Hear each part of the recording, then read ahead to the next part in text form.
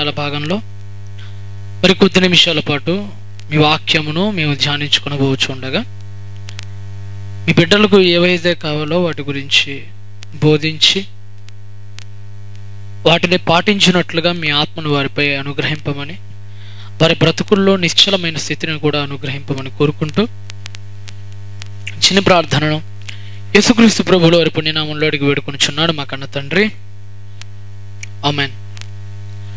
Okay పిల్లలు మరి మధ్యాహ్న కాల భాగంలో కూడా దేవుడు వాక్యాన్ని మనం కొద్ది నిమిషాలు ధ్యానించుకుందాం.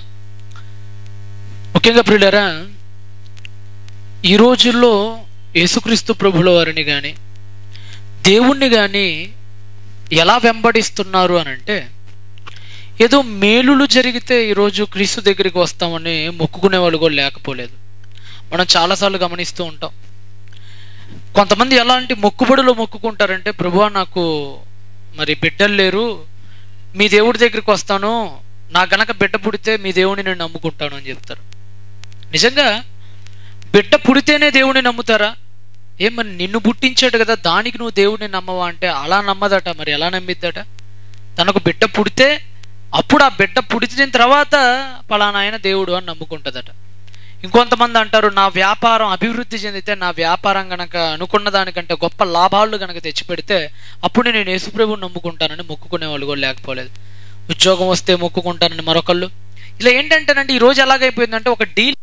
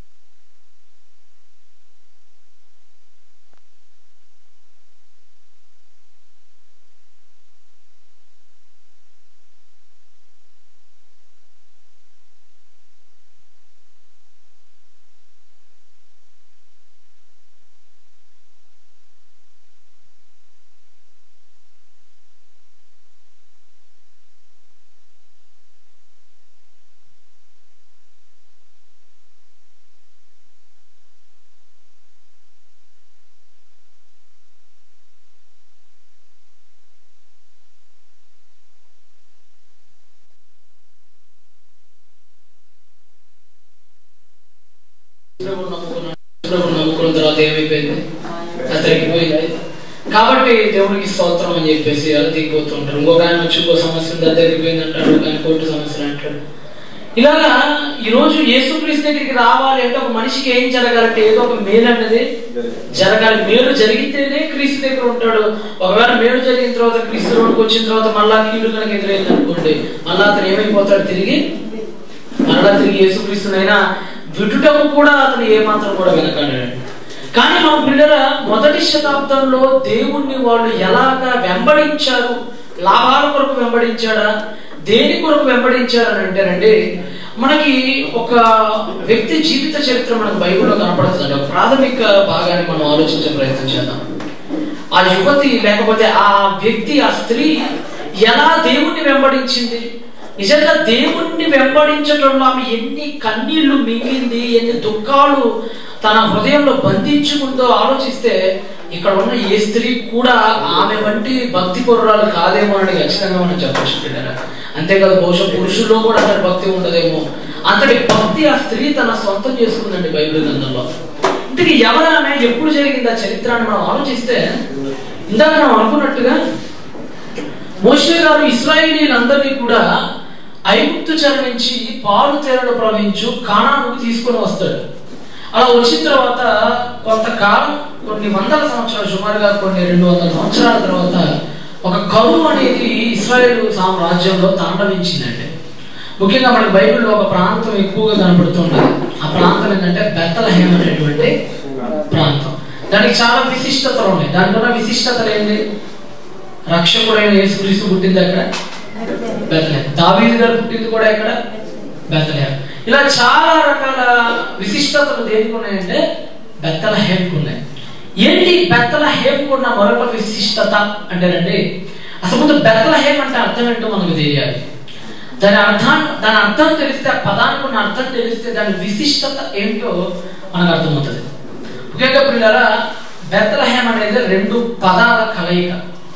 రెండు పదాల కలయిక. బెత్ అనేటువంటి ఒక పదం లెహెం అనేటువంటి మరొక పదం.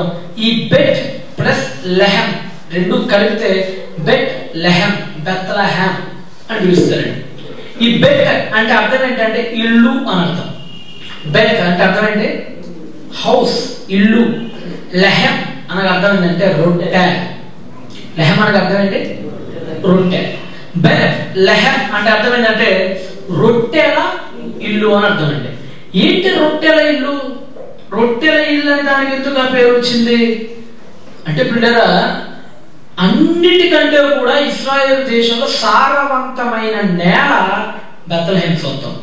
అనగా ఎక్కువగా గోధుమ పంట అనేది ఎక్కువగా పండుతుందండి. ఎక్కడ? బెత్తలంలో గోధుమ పంట ఎక్కువ. సారవంతమైన నేల చాలా అంటే ఎరువులు కూడా ఎక్కువ వాడనవసరం లేదండి. ఈ రోజుల్లో ఏ పంట ఏమైనా ఏం వాడాలి? ఎరువులు వాడాలి. కానీ బెత్తలహేమలో పంట వేస్తే ఎరువు కూడా ఏం అవసరం లేదు. అంత సారవంతమైన నేల ఇప్పుడంటే కొద్దిగా పాడైపోయిందండి బాంబులు శబ్దాలతో. ఎందుకంటే ఇప్పుడు అవన్నీ కూడా దాదాపు రెండు వేల ఏళ్ళ నుంచి అది అరపుల చేతిలో ఉంది. మొన్నటి దాకా పంతొమ్మిది వందల నలభై ఏడు దాకా కూడా. బెత్తలహేం అనేది ముస్లిం రాజులు పరిపాలించారు. ఉగ్రవాద మూకల చేతుల్లో బాంబుల శబ్దాలతో సారమంతా ఇప్పుడు కోల్పోయింది కానీ ఒకప్పుడు బెత్తలహేం అంటే అర్థమైందంటే ఎక్కడ కరువు వచ్చినా కానీ బెత్తలహేం ఇప్పుడు పచ్చగానే ఉండేది. ఎక్కడ కరువు వచ్చినా కానీ బెత్తలహేం మాత్రం పచ్చగానే ఉండేది. రొట్టె ఎప్పుడైనా దొరికేది బెత్తలహేంలో చాలా చీప్గా ఎక్కువగా చాలా శ్రేష్టమైనటువంటి ఆహారం ఎక్కడ దొరికింది బెత్తలహేంలో దొరుకుతుంది. అందుకని దానికి బెత్తలహేం రొట్టెల ఇల్లు అని ఆ ప్రాంతానికి పేరు పెట్టాడు.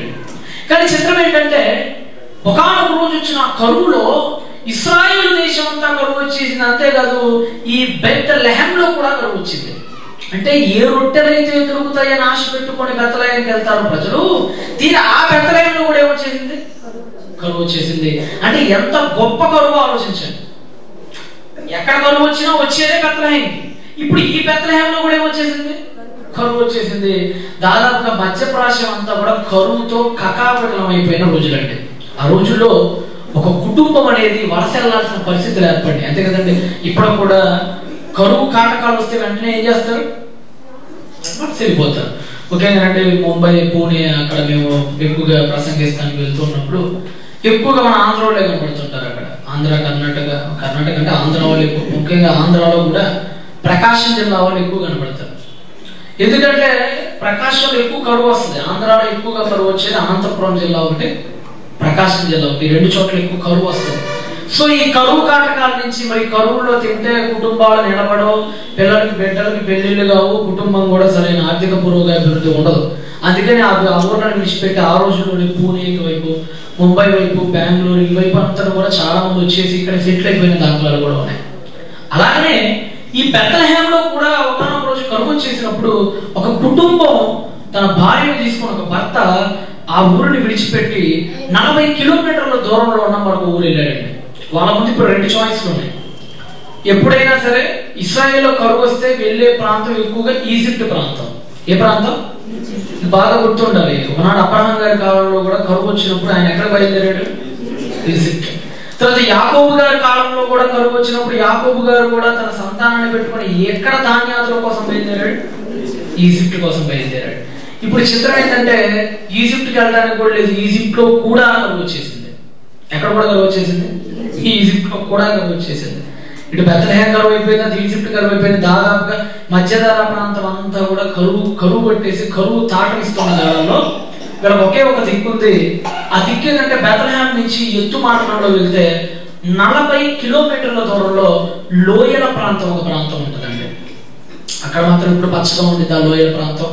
ఏంటయ్యా ఆ లోయల ప్రాంతం అంటే అది ఎవరికో కాదు లోతు గారు ఒకనాడు వెళ్ళిపోయారు చూసారా? అబ్రహాం గారికి లోతు గారికి గొడవ అయిపోయినప్పుడు లోతు గారు ఎక్కడికి వెళ్ళిపోతారు? తూర్పులో ఉన్న యోద్ధాను వైపు వెళ్ళిపోతారు. ఆ ప్రాంతం ఒకప్పుడు సుధమ కుమర్రాగా ఉండేది అది భస్మం అయిపోయింది. దానికి కొద్దిగా ముందు సుధమ కుమర్రాగా అంటే కొద్దిగా ముందు ఉన్నటువంటి ప్రాంతం ఆ ప్రాంతం పేరు మొయాబు ప్రాంతం అంటారండి. ఏ ప్రాంతం? మొయాబు ప్రాంతం. మొయాబు అనగానే మాకు మనకు ఒకరు గుర్తులో ఆయన ఎవరు? ప్రొఫైల్ లోతు గారు. లోతు గారు ఇద్దరి కూతురులతో దాష్టికం జరిగినప్పుడు అనుకోని పరిస్థితుల్లో ఆయన పుట్టినటువంటి ఇద్దరు కొడుకులు ఒక ఆయన పేరు? బెన్నమ్మి ఒక ఆయన పేరు అన్నం.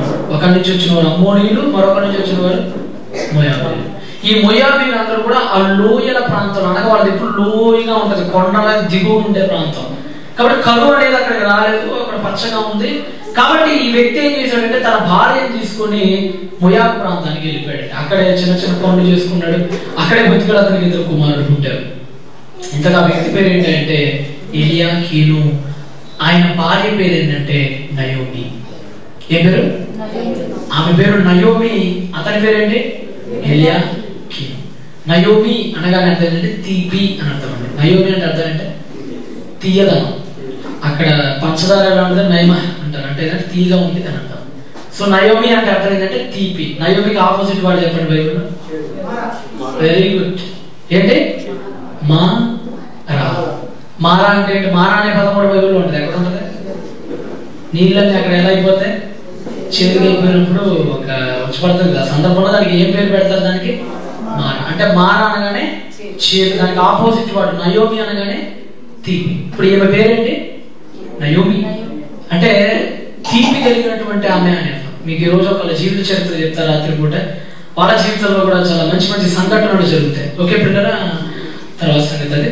ఇకపోతే ఈ నయోమి అతని భర్త అయినటువంటి ఎలియాకి వీళ్ళిద్దరూ కూడా తన కుటుంబాన్ని తీసుకొని వెళ్ళిపోతారు. ఆ సందర్భాన్ని మనకు ఎక్కడ కనబడుతుంది అంటే రూతు గ్రంథం ఒకటో అధ్యాయం ఒకటో వచ్చిన అంటే దేవుణ్ణి వెంబడించడంలో ఎన్ని కష్టాలు ఎదురైనా భక్తులు ఎలా బ్రతికారు? ఎక్కువగా భక్తుల జీవిత చరిత్ర మీకు ఎందుకు చెప్తారంటే భక్తు జీవిత చరిత్రలో ఏ ఒక్కరికి సుఖం కలగలేదు. అందరికీ కష్టాలు వచ్చాయి బైబిల్లో మీరు ఆది కాండం నుంచి ప్రకటన గ్రంథం వరకు చూస్తే వ్యక్తుల పేర్లతో ఏ ఏ పుస్తకాలు అయితే ఉన్నాయో అవి అందరికీ కూడా వచ్చిన ఏకైక ఏంటంటే కష్టం కష్టం కష్టం. ఆ కష్టంలో వాళ్ళు నిలబడి గెలిచిన వాళ్ళు కాబట్టి బైబిల్లో ఈరోజు మనకి పుస్తకాల రూపంలో వచ్చారు. ఓడిపోయిన వాళ్ళ పుస్తకాల రూపం లేదు. బైబిల్ ఎక్కడైనా దుష్టుల పేరు పుస్తకాలు పెడతాం విన్నారా? కయ్యన గ్రంథం అని పేర్లు కానీ బిలాము గ్రంథం అని కానీ విన్నారా? నిలబడని వారు పడిపోయిన వాళ్ళు బైబిల్లో ఉంటారు కానీ నిలబడిన వాడి పేర్లు దేనికి ఉంటాయి? పుస్తకాలు ఉంటాయి. అలా నిలబడిన ఒక ఆమె ఈ పుస్తకం పేరు పెట్టుకుంది. ఒకటో అధ్యాయం ఒకటో వచ్చిన చదువు. రూతు గ్రంథం ఒకటో అధ్యాయం ఒకటో వచ్చిన న్యాయాధిపతులు ఏలిన దినముల యందు దేశములో కరువు కలుగగా యూదా బెత్లెహేం నుండి ఒక మనుషుడు తన భార్యను తన ఇద్దరు కుమారులను వెంట పెట్టుకొని మొయాబు దేశమునకు కాపురం ఉండటకు బయలుదేరాడు. ఆ మనుషుని పేరు క్షమించండి ఇందాక ఎలియాకి ఏమన్నా కదా? ఎలిమెలకు అతని భార్య పేరు నయోమి అతని ఇద్దరి కుమారుల పేర్లు మహలోము కిలియోను. పెద్ద కొడుకు పేరేంటి? మహలోను. చిన్న కొడుకు పేరు కిలియోను. భార్య పేరు నయోమి. అతని పేరు ఎలి మెలెక్ ఓకేనా పిల్లలు ఈ యొక్క ఫ్యామిలీ ఈ ఫ్యామిలీ అనేది ఆ కరువు నుంచి తప్పించుకోవడానికి ఎక్కడికి వెళ్ళిపోయింది? మొయాబు దేశానికి లేదా మొయాబు ప్రాంతానికి వెళ్ళిపోయింది. అక్కడ ఎంతో కొంత పంటలు పండించుకుంటూ చక్కగా ఉన్న దాంట్లో తింటూ ఉన్న దాంట్లో బ్రతుకుతూ మంచి స్థావరం ఏర్పాటు చేసుకొని కొన్ని పదుల సంవత్సరాల పాటు వాళ్ళు అక్కడే బతికారండి. కానీ తర్వాత మరి దేవుడు శాసించాడు లేకపోతే ప్రకృతి సహకరించలేదు తెలియదులే కానీ ఇంటికి పెద్ద అయినటువంటి ఎలిబిలకు అనుకోకుండా చనిపోయాడు. ఎక్కడ చనిపోయాడు? మొయాలు ప్రాంతంలోనే ఎలిమెల్క్ అనే వ్యక్తి చనిపోయాడు. ఒక్కసారిగా నయోమి అయిపోయిందంటే విధవరాలు అయిపోయిందంటే ఇప్పుడు ఆయనకున్న ఇద్దరు కొడుకులు ఎవరు? మహలోను కిలియోను. ఈ ఇద్దరు కొడుకులు తండ్రి చనిపోయాడు అసలు ఆయన ఇంటికి పెద్ద ఆయన చనిపోయాడు. ఆడామె ఇక ఈ ముగ్గురు మాత్రమే ఆ గుడారంలో మిగిలిపోయారు చిన్న గుడారం తీసుకున్నారు. రోజు అక్కడే పొలం పనులు చేసుకుంటూ చక్కగా ఉండేవాళ్ళు. వాళ్ళు బయలుదేరినప్పుడు ఆ బిడ్డలు చాలా చిన్న చిన్న వాళ్ళు. వాళ్ళు కూడా పెరిగి పెద్దోళ్ళు అయిపోయారు. బిడ్డలు కూడా పెళ్ళిళ్ళు వచ్చింది. అలా పెళ్ళిళ్ళు వచ్చినప్పుడు వాళ్ళు పెళ్ళి చేసుకున్నారు. ఎవరిని పెళ్ళి చేసుకున్నారంటే మొయాబు స్త్రీలనే వివాహం చేసుకున్నారు వాస్తవానికి అంటే ఇస్రాయేలీలు ఎవరైనా సరే పెళ్ళి చేసుకోవాలంటే అన్యుల్ని పెళ్ళి చేసుకుంటారా? ఎవరిని పెళ్ళి చేసుకుంటారు? నాకు అబ్రహం గారి జీవితంలో తన కొడుకు అయినటువంటి ఇస్సాక్కి పెళ్ళి చేయాలనుకుంటున్నాడు. ఇస్సా గారికి ఏం చేయాలనుకున్నారు పెళ్ళి చేయాలనుకున్నారు పెళ్ళి చేయాలనుకున్నప్పుడు ఎక్కడికి పంపించాడు తన దాసుల్ని? ఎక్కడ పంపించాడు? లాభాను మన బెతుయల దగ్గరికి పంపించాడు.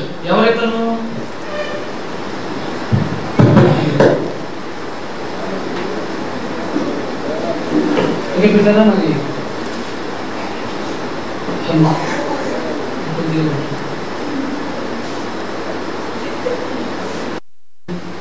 ఓకే పెట్టారా అప్పుడు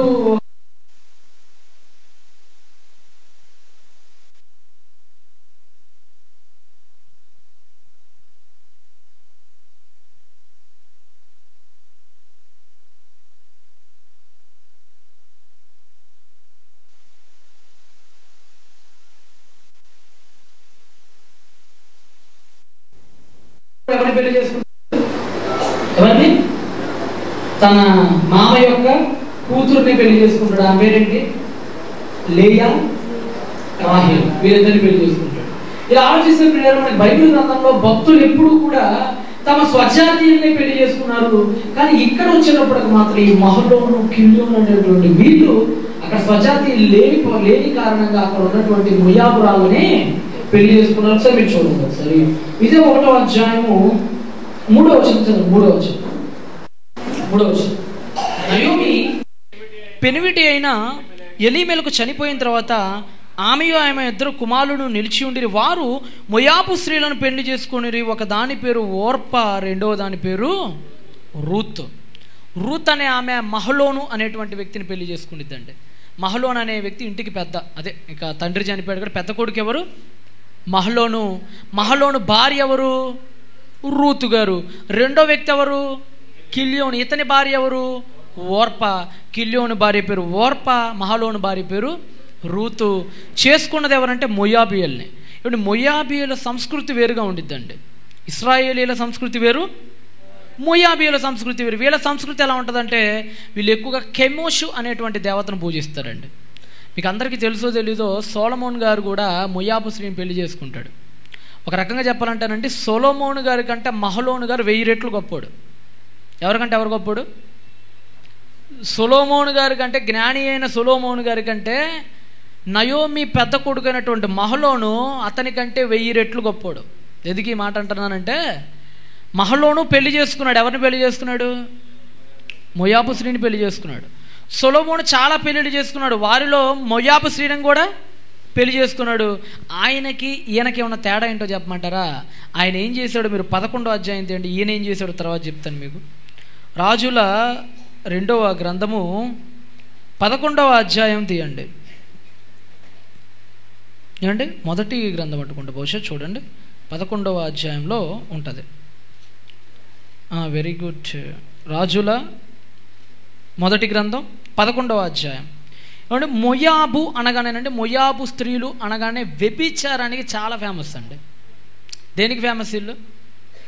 బైబిల్ మొత్తం గ్రంథంలో కొత్త నిబంధనలో వ్యభిచారానికి బాగా ఫేమస్ అయినటువంటి సిటీ ఏంటంటే కొరింది సిటీ. కొరింది అనగానే మీకు ఏం గుర్తు రావాలి?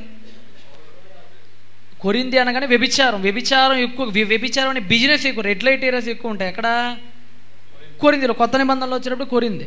ఎవరైనా వచ్చారనుకోండి ఎవరైనా పలకరించారు ఏ ఊరండి? అని అడిగారు అనుకోండి మాదా మాది కొరింది అంటే వెంటనే వీళ్ళకి ఏం గుర్తు వచ్చేదంటే వ్యభిచారం చేసామా అనుకునేవాళ్ళు అంటే కొరింది అంటే వ్యభిచారం వ్యభిచారం అంటే కోరింది అంటే ఒక వ్యభిచార స్త్రీ అని చెప్పడం కూడా కొరింది స్త్రీ అని చెప్పేవాళ్ళు ఇండైరెక్ట్గా అంటే అంతటి చెడ్డ పేరు దేనికి వచ్చింది? క్రొత్త నిబంధనలో కొరిందికి వచ్చింది. అదేవిధంగా పాత నిబంధనలో అంతటి చెడ్డ పేరు దేనికి ఉందంటే మోయాబుకు ఉందండి.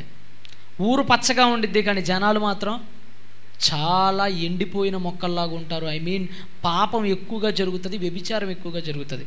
అందుకని మనకి ఎప్పుడు కూడా మొయాబు స్త్రీలు అనగానే వ్యభిచారం అత్యధికంగా జరిగే స్త్రీలు అని అర్థం. అది మీరు ఎప్పుడు గుర్తుపెట్టుకోండి. ఇది మీకు అర్థం కావాలంటే సరే ముందు మనం రాజుల గ్రంథంలో చదువుకొని అక్కడికి వెళ్దాం వెళ్దాంలేంటే రాజుల మొదటి గ్రంథం పదకొండో అధ్యాయం తీయండి. పదకొండో అధ్యాయము రాజుల మొదటి గ్రంథము. అతను పెళ్ళి చేసుకున్న వాళ్ళ లిస్ట్ అక్కడ ఉంటుంది చూడండి. ఏమంటే రాజుల మొదటి గ్రంథము పదకొండో అధ్యాయము సెకండ్ అండ్ థర్డ్ చదవండి. అతని కామాతురత ఉంది. అతని దాదాపుగా వెయ్యి మంది స్త్రీలను పెళ్ళి చేసుకున్నాడు. ఎవరెవరిని పెళ్ళి చేసుకున్నాడు? ఐదో వచనం చదవండి. ఐదో వచనం చదవండి. సొలోమోను అష్టారోతను సీదోనియుల దేవతను మిల్కోము అని అమ్మోనియల హేయమైన దేవతను అనుసరించి నడిచాడు. ఈ ప్రకారం సొలోమోను యహోవా దృష్టికి చెడు నడత నడిచి తన తండ్రి అయిన దావీదు అనుసరించినట్లుగా. ఇదంతా మాట్లాడుకుంటూ అసలు మనం ఒకటే వచనం చదవండి చెప్తా ఒకటే. పదకొండు వచ్చిన ఒకటే చదవండి. మొయాబీయులు ఏదోమీయులు అమ్మోనీయులు సీదోనీయులు హిత్తీలు అని జనులు మీ హృదయంలో తమ దేవతలతో తిప్పేస్తారు కాబట్టి వారితో మీరు సావాసం చేయకూడదు వారిని మీరు పెళ్ళి చేసుకోకూడదు అని యహోవ ఇస్రాయేల్కి సెలవిచ్చాడు. అయితే రాజైన సులోమును ఫరో కుమార్తెనే కాక ఆ జనులలో ఇంకా అనేక మంది పర స్త్రీలను మోహించి పెళ్ళి చేసుకున్నాడు. అంటే ఈ సొలోమోను పెళ్ళి చేసుకున్న స్త్రీలలో ఫస్ట్ ఫస్ట్గా ఏ స్త్రీలు ఉన్నారు? ఎవరున్నారు? మొయాబీలు ఉన్నారు. అనగా సొలోమోను భార్యలు ఎవరంటే మొయాబీలు. వీళ్ళు నమ్మే దేవత ఏంటంటే కెమోషు దేవత. అది మనకి ఏడో వచనంలో కనపడుతుంది చూడండి. ఏడో వచనం. పదకొండో వచనం ఏడో వచనం. సొలోమోను కెమోషు అను మొయాబీల హేయమైన దేవతకు. అంటే కెమోష్ అంటే ఎవరన్నమాట? కెమోష్ అనగానే ఎవరు? మొయాబీయుల దేవత. ఇప్పుడు రూతు ఓర్ప వీళ్ళిద్దరు ఎవరన్నమాట? మొయాబీలు. అంటే వీళ్ళు నమ్మే దేవత కూడా ఎవరు? కెమోషి దేవత. దేవదాసి వ్యవస్థ అంటారు కదా మన ఇండియాలో కూడా ఉంటుంది. దాని ఏమంటారు? Temple prostitution hello. Hello. Okay పిల్లలు కాబట్టి ఈ టెంపుల్ ప్రాస్టిట్యూషన్ అనేది ఎక్కువగా జరుగుతుంది. కెమోషి దగ్గర కూడా అదే జరుగుతుంది. వ్యభిచారం ఎక్కువ జరుగుతుంది. బడులు ఎక్కువగా జరుగుతాయి చిన్నపిల్లని బలిచ్చేస్తారండి. ఆ రోజుల్లో ఎవరికైనా కరువు కాటకాలు వచ్చినాయి అనుకోండి ఏం చేసేవాళ్ళు తెలుసా? ఈ కెమోష్ అనే దేవత ఎలా ఉంటుందంటేనండి గొర్రె తలకాయ ఉంటుందండి ఆ దేవతకి. ఏ తలకాయ? గొర్రె తలకాయ ఉంటుంది రెండు చేతులు ఇలా పెట్టుంటుంది భిక్షాటం చేసేటప్పుడు పెడతారు కదా రెండు చేతులు. అలాగ చేతులు పెట్టుంటుంది ఎవరైనా కరువు వచ్చింది అనుకోండి ఆ రోజుల్లో ఏం చేసేవారంటే చిన్న చిన్న బిడ్డలు ఉంటారు కదా రెండు మూడు సంవత్సరాల చిన్న చిన్న పాలు తాగి బిడ్డలు. వాళ్ళని తీసుకొని వచ్చి ఏం చేసేవాళ్ళంటే ఆ భిక్షాటన అలా పెట్టిన చేతులు ఉన్నాయి కదా ఆ చేతుల మీద ఆ బిడ్డల్ని పెట్టి అక్కడ కిరోసిన్ పోసి నిప్పంటిచ్చేసేవాళ్ళు ఆ బిడ్డల్ని. నిజం?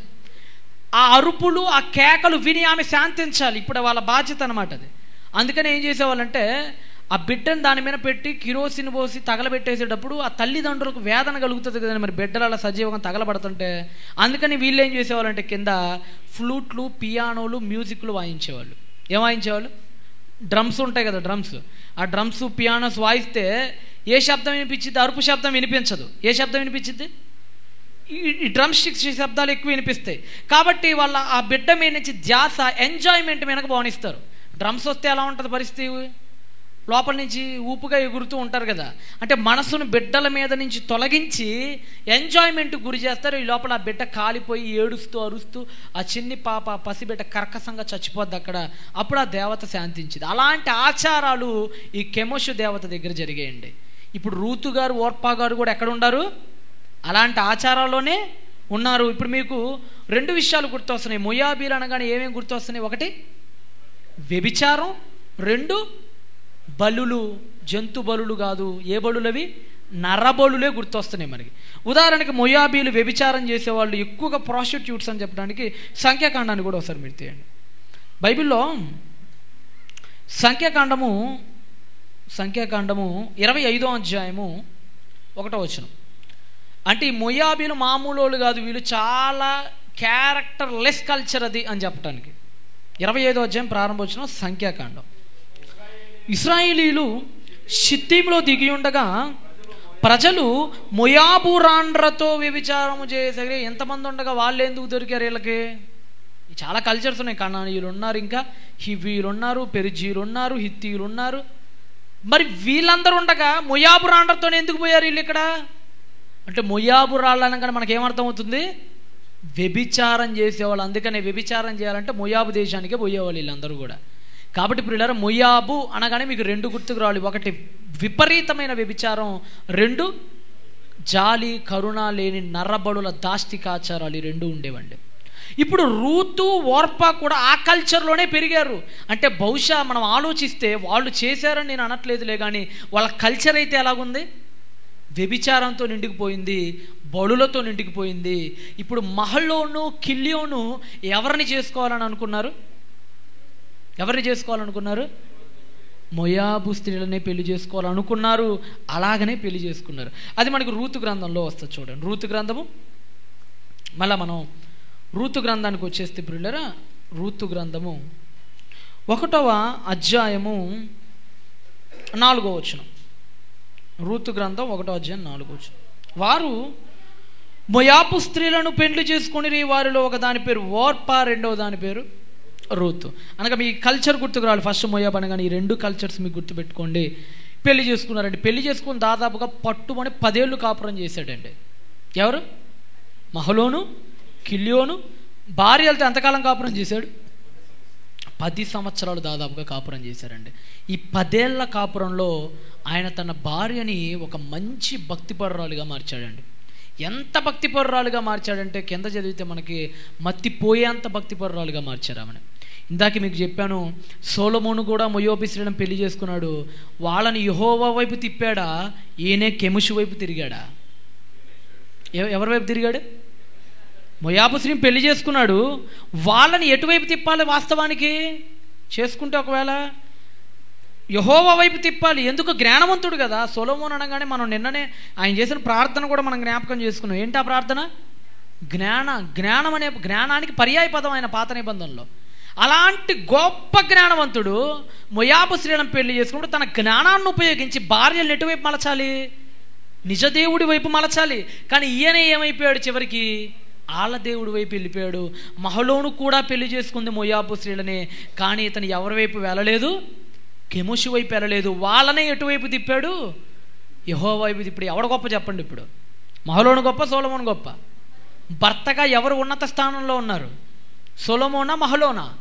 మహలోను చాలా గొప్పడు. ఇంత దౌర్భాగ్యపు వ్యభిచారపు కల్చర్లో నుండి ఒక ఆమెను పెళ్ళి చేసుకొని ఈ బడులలో సంస్కృతి కలిగిన ఈ స్త్రీని పెళ్ళి చేసుకొని యహోవా భక్తురాలిగా మార్చాడంటే ఈ పదేళ్ళ కాపురంలో ఆయన తన భార్యని ఎలా తీర్చిదిద్దాడండి? చాలా గొప్ప గుణవతిగా తీర్చిదిద్దాడు అదంతా మనకి. కింద మనం జాగ్రత్తగా ఆలోచిస్తే ప్రియులరా ఐదో వచనం చదవండి ఐదో వచనం. ఐదో వచనం. వారు ఇంచుమించు పది సంవత్సరములు అక్కడ నివసించిన తర్వాత మహల్లోనును కిల్యోనును ఇద్దరును చనిపోయిరి. ఏమైపోయిందటండి? ఏమైపోయారట? పదేళ్ళు కాపురం చేశారండి. అనుకోని పరిస్థితుల్లో వాళ్ళిద్దరూ కూడా తమ తండ్రి ఎలాగైతే చనిపోయాడు వీళ్ళు కూడా అనుకోకుండా చనిపోయారు. ఇప్పుడు రూతు గారి పరిస్థితి ఏమైపోయిందంటే తన కల్చర్ నుంచి కొత్తగా యుహోవా అనే దేవుణ్ణి నమ్ముకొని వచ్చింది. పట్టుమని పదేళ్ళు కాలేదు. ఏమైపోయింది ఆమె? విధవరాలైపోయింది. ఇప్పుడు ఆమె జీవితంలో ఎలాంటి పరిస్థితి ఏర్పడిందంటే ఎంతగానో ప్రేమించిన తన భర్త. దేవుడి గురించి ప్రతిరోజు విషయాలు చెప్తూ ఉండేవాడండి. ఈ పదేళ్ళు అంతే కదండి. ఒక భార్య మంచిగా మారిందంటే ఎవడ కురపండి చెప్పండి అది? ఒక మొయాబు స్త్రీ ఈమె ఒక మొయాబు స్త్రీ యహోవా భక్తురాలుగా మారిందంటే ఎవడి ప్రమేయం ఉంది చెప్పండి అక్కడ? కేవలం ఈ పదేళ్ళ పరిచయంలో ఆమె భర్త ఆమెని దేవుడి ధర్మశాస్త్రాన్ని జాణించు స్త్రీగా మార్చాడండి. రోజు ధర్మశాస్త్రాన్ని చదివేది ఆమె. ఎలా చదివేదో కూడా తర్వాత చెప్తాను మీకు. రోజు ధర్మశాస్త్రాన్ని ఆమె ప్రతి దినం ఆలోచిస్తూ ఉండేది. యహోవా గుణగణాలు ఆమె తెలుసుకుంటూ ఉండేది. అయితే అలాంటి సమయంలో ఉన్నట్టుండి సడన్గా చాలా యవ్వన ప్రాయం అండి ఆమెకి. ఎంత ప్రాయం? ముసలామె గాల పెళ్ళై పది అంటే యవ్వన ప్రాయం. నాకు తెలిసి ముప్పై ఏళ్ళు అలా కూడా ఉంటాయి. ఇరవై ఐదు నుంచి ముప్పై ఏళ్ళ లోపలే. ఈ ఇరవై ఐదు నుంచి ముప్పై ఏళ్ళ లోపలే విధవరాలైపోయింది. ఇప్పుడు విధవరాలైపోయిన తర్వాత ఆ రోజుల్లో మరలా తిరిగి పుట్టింటికి వెళ్ళిపోవాల్సిన పరిస్థితి. ఎందుకంటే విధవరాలైపోతే ధర్మశాస్త్రం ప్రకారంగా భర్త చనిపోతే ఎవరిని పెళ్ళి చేసుకోవాలి? భర్త యొక్క సోదరుడు ఆమెను ఏం చేయాలి? వివాహం ఆడ ఇక్కడ భర్త యొక్క సోదరుడు ఉన్నాడా? భర్త యొక్క సోదరుడు లేడు. మనకు అందుకని యోధా గారి విషయంలో కూడా యోధా గారి కోడలకి ఇద్దరు కొడుకులు చనిపోతారు. ఎవరు ఇద్దరును? ఎవరిద్దరును? ఒనానొకళ్ళు ఏరొకళ్ళు ఏరు ఒనాను చెడ్డవారైన యహోవా వారిని శిక్షించనని ఉంటుంది. వాళ్ళిద్దరూ చనిపోతారు. వాళ్ళిద్దరూ చనిపోయిన తర్వాత ఆ కోడల్ని ఏం చేసేస్తాడు ఆయన? ఎక్కడ పంపించేస్తాడు? వెళ్ళిపోమ్మా అంటే ఒకవేళ భర్త చనిపోయినప్పుడు సోదరుడు గనక లేకపోతే లేదు వాళ్ళు గనక చిన్ని వారు గనక అయితే వాళ్ళని వీళ్ళు పెరిగి పెద్దయ్యేంత వరకు కానీ లేదా అసలు బిడ్డలు లేకపోతే శాశ్వతంగా కానీ ఎక్కడికి పంపించేస్తారు? పుట్టింటికి పంపించేస్తారు. ఇక్కడ నయోమి పరిస్థితి కూడా అదే. ఎందుకంటే నయోమికి భర్త చనిపోయాడు ఉన్న ఇద్దరు కొడుకులు చనిపోయారు. పెళ్ళి చేసుకోవడానికి ఏమో ఎవరైనా ఉన్నారు? ఇక సోదరులు భర్త సోదరులు? ఎవరు లేరు. ఏమో పరిస్థితి ఏంటంటే అగమ్య గోచరం అయిపోయిందండి. నమ్ముకొని ఇంటికి వస్తే నమ్ముకున్న ఇల్లు ఏం చేసింది? ఒక రకంగా మానవ భాషలో చెప్పాలంటే చిన్న వయసులోనే యవనస్తురాలుగా ఉన్నప్పుడు విధవరాండ్రైపోయి అన్యాయం జరిగిపోయిందండి ఆమె జీవితంలో ఆమెకి. ఇప్పుడు ఆమె ముందు రెండు చాయిస్లు ఉన్నాయి. ఇంటికి వెళ్ళిపోయి వాళ్ళ తల్లిదండ్రుల దగ్గర బతకటం కష్టమైన నష్టమైన అత్త దగ్గరే అత్తని బతిమిలాడుకున్న అత్త దగ్గరే ఉండిపోవటం. మళ్ళీ ఇంటికి వెళ్ళిపోయే ఛాన్స్ ఉంది. కానీ ఇంటికి వెళ్ళిపోతే పరిస్థితి ఏంటి? వాళ్ళ కల్చర్ ఏంటి? కల్చర్ ఏంటి? వ్యభిచారం చేయాలి. రెండో కల్చర్ ఏంటి? బడులు ఇస్తూ ఉండాలా? పడుపు సొమ్ముతో మందిరాలను కాపాడుతూ ఉండాలా? ఇంటికి వెళ్ళే అవకాశం ఉంటే ఇంట్లో చీట చీకటి మబ్బులు గమ్ముతున్నాయి. అంత పాపం కనపడుతుంది. చీకటిగా ఉంది ఇల్లు చూస్తే. అత్త ఇల్లు చూస్తేనేమో ధర్మశాస్త్రంతో వెలిగిపోతుంది కానీ తినటానికి తిండి అంతే కదండి. నయోమి ముసలాం అయిపోయింది. దాదాపుగా అమ్మమ్మ వయసు అండి అంతేనా? కొడుకులకు పెళ్ళిళ్ళు అయిపోయి కాపురం చేసి పదేళ్ళు అంటే ఈమె ఏమైపోయింది అనమాట వాస్తవానికి? అమ్మమ్మ అయిపోవాలి అవ్వ అయిపోవాలి. అవ్వ వయసు ఎవరిది? నయోమి ఆమె తినటానికి ఆమెకే భర్త లేడు ఇక్కడ. ఆమె సంపాదించుకోవాలి. దానికి తోడు ఇప్పుడు కోడళ్ళు ఏమకున్నారు కోడలకు ముద్ద అన్నం పెట్టగలిగిద్ది అంటారా? అంతే కదా? తన ఇంట్లో పెద్ద దిక్కు లేదు మగ దిక్కు లేదు. అన్నం ఎవరు పెడతారు ఇద్దరికి? అన్నం పెడతానికి ఎవరు లేరు. ఇంటికి వెళ్తే సమృద్ధిగా ఉంది అన్నం. ఇంట్లో ఎలా ఉంది అన్నం? వాళ్ళ పుట్టింట్లో మొయాబులో రూతు బోర్ప ఒక పుట్టింట్లో అన్నం సమృద్ధిగా ఉంది డబ్బులు బాగా వస్తే కష్టపడకుండానే కడుపు నిండిపోద్ది కష్టపడకుండా లగ్జరియస్ లైఫ్ అనుభవించవచ్చండి అత్త దగ్గర ఉంటే తినటానికి తిండి లేదు సరైన ఇల్లు లేదు సొంత ఇల్లు కూడా అది కాదు. ఎందుకంటే వాళ్ళది వేరే ఊరు అసలు. భాష కూడా వీళ్ళది కాదు. అసలు వాళ్ళ ఊరు వేరు వీళ్ళ ఊరు వేరు. జస్ట్ పరిచయం అయ్యారు పెళ్ళి చేసుకున్నారు అంతే ఇప్పుడు ఎలాంటి పరిస్థితి అంటేనండి ఇంటికి వెళ్ళి రెండో పెళ్ళి చేసుకోవాలా? ఇంట్లో ఉండిపోవాలా? పెళ్ళే చేసుకోకుండా అత్త కనుక ఇక్కడ ఉండాలా? ఒకవేళ ఇక్కడే కనుక ఉండిపోతే ఈమె తినటానికి తిండి పెట్టే మగదిక్కెవరు? ఈమె బయటికి వెళ్ళాలి అవునా?